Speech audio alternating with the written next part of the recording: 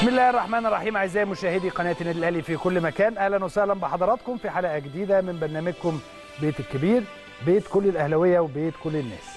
عندنا كالعادة موضوعات آه، يعني كثيرة جدا وملفات كثيرة هنتكلم فيها النهارده.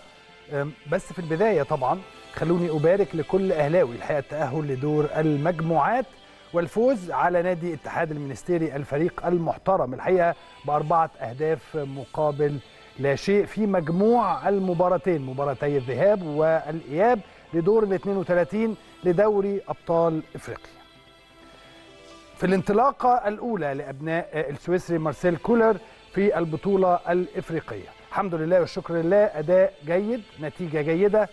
خلي بال حضراتكم من الكلام، إحنا بنتكلم على إن هو أداء جيد ونتيجة جيدة خصوصا إن هذه النتيجة تحققت على حساب فريق محترم فريق محترم من الفرق الكبيرة وكان حديث الصباح والمساء في تونس الموسم آه، أو نهاية الموسم السابق الحقيقة. حقق نتائج رائعة. سوبر تونسي كاس تونس آه، خسر بطولة الدوري بنقطتين بس أمام الترجي. فأنا بشوف إن هذا الفريق هو فريق محترم. والحقيقة امبارح تعب النادي الأهلي لحين ال- الشوط الأول تحديدا كان هناك آه، المباراة كانت صعبة من كلا الطرفين سواء من النادي الأهلي أو على النادي الأهلي وأيضا كانت صعبة على نادي اتحاد المنستيري. وبالتالي لا مش عايز أتكلم على مقياس حكم على اللاعبين أو مقياس حكم على كولر. بالمناسبة ما عنديش مشكلة إن حد يقول إن هو شايف إن اللعيب الفلاني ده كويس شايف إن اللعيب العلاني ده كويس دي ما عنديش مشكلة فيها إطلاقا. ولكن صفقة من الصفقات الجديدة اللي أنا اتكلمت مع حضراتكم فيها خلال ال- الشهر اللي فات تحديدا. أكرم توفيق. هتقول لي يا عم إسلام هو أكرم توفيق أنت بتعتبره صفقة؟ لل... لل... لمن يجهل كرة القدم؟ لمن يجهل فنون أو كرة القدم أو لعبة كرة القدم أو أساسيات كرة القدم؟ لمن يجهل؟ خلاص؟ كرة القدم مش معنى إن أنا آه، أجيب حد جديد. ده ده الصفقة الأساسية أو الحقيقية. الجديد هو الصفقة الأساسية أو الحقيقية. ولكن إن أنا يجي لي لعيب بعد سنة زي أكرم توفيق أعتقد بالنسبة لنا أو بالنسبة للي بيفهم في الكورة الكل بيعتبر إن ده عودة أكرم توفيق دي بتعتبر صفقة كبيرة ومهمة جدا جدا للنادي الأهلي. مش للنادي الأهلي فقط ولكن للنادي الأهلي ولمنتخب مصر. محمود متولي هو صفقة بقالها أربع سنين أو ثلاث سنين موجودة في النادي الأهلي ولكن الفترة اللي فاتت ما كانش بيلعب كتير لعدد ات- اتصاب كتير. فرجوع محمود متولي للتشكيلة الأساسية هو صفقة مهمة وكبيرة. بالنسبة للنادي الأهلي. أليو ديانج وحمدي فتحي عودتهم من الأجازة للي- يعني برضو لمن يجهل. لما الواحد بيبقى تعبان ما بيديش مية في المية من آه، مستواه الطبيعي في المية من قوته داخل الملعب. لما بيبقى تعبان خصوصا إن بيبقى بقاله سنتين أو ثلاث سنين بيعمل كل حاجة بيلعب كل يومين ثلاثة مباراة بيلعب كل يومين ثلاثة مباراة سواء مع النادي الأهلي أو مع منتخب مصر أو مع النادي الأهلي في كل البطولات وخدت تقريبا كل البطولات. ده اسمها حالة تشبع وحالة إجهاد.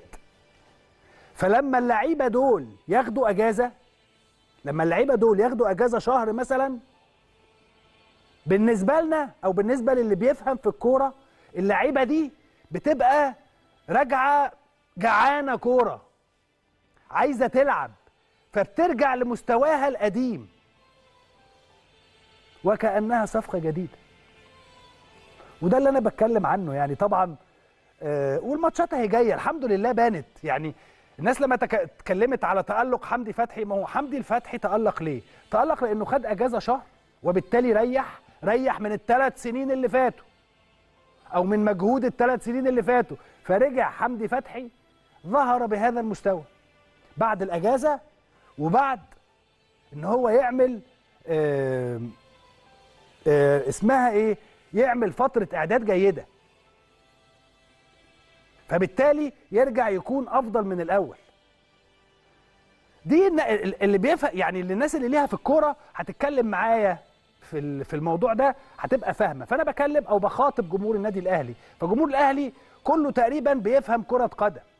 فعارفين الكلام اللي أنا بقوله. مش قصدي صفقة ولكن قصدي إن في ناس كتيرة رجعت لنا مخليانا كأننا مطمنين مخليانا مش عايزين نعمل صفقات أخرى على الرغم من إن إحنا عندنا بعض النواقص اللي موجودة. أنا مع حضراتكم صريح أهو ولكن أنا لما أجي أتكلم زي ما قلت لكم كده من الأول حمدي فتحي امبارح ظهر بشكل مختلف. اليو ديانج ظهر بشكل مختلف. محمد الشناوي مش هقدر أقول إن هو بان قوي لكن آه، يعني في كرة كانت خطيرة جدا وكان ممكن الشوط الأولاني ترجعهم لكن آه، الدور اللي عمله محمد الشناوي ده يقول إن هو بعد الأجازة وبعد الإجهاد هو بالنسبة لي صفقة جديدة. آه، محمود متولي نفس الكلام أكرم توفيق ناحية اليمين نفس الكلام علي معلول ناحية الشمال هو علي معلول أداؤه دلوقتي زي ما كان أداؤه في نهاية من الموسم اللي فات قبل الأجازة. أو قبل الراحة؟ لا طبعا. علي معلول مختلف. دلوقتي أفضل.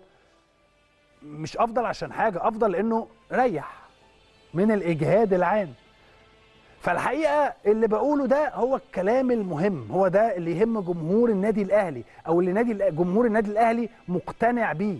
أي حاجة تانية يعني أنا ما بحطش دماغي فيها يعني.